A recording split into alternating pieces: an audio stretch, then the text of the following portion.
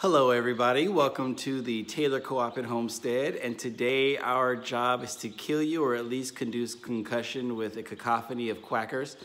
Uh, yeah, that's a lot uh, of cacophony of cute quackers. cute quackers at that. Yeah. so, um, Without, yeah. without further ado, let's go ahead and do the reveal.